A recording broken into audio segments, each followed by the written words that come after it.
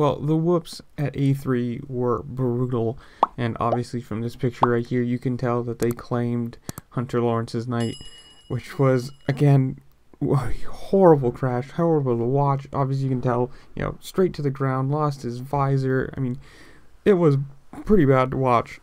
This, this, you know, looks fine, looks fine, looks fine, looks fine, and it's all going downhill now, right into the face of the last whoop. He couldn't have cleared it and just like slid down. No, he had to clip right into it.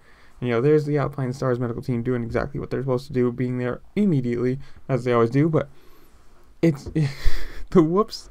I mean, the amount of people that went down this race, much less the whoops, were. Whew.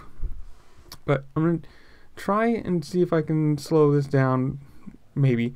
But you can see right there, he just, you know, goes over the whoops, misses one you know, cases the next, and then from there it's all downhill. You just there's no coming back from that.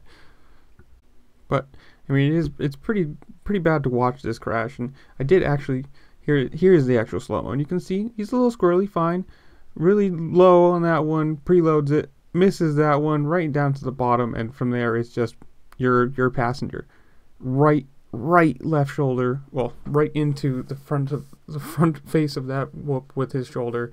Bike goes clear. It's just oof. That that one's pain. That one's straight up pain. Oof. I mean, this the whoops this, this week were just brutal. I mean, the, the amount of people they claimed was crazy.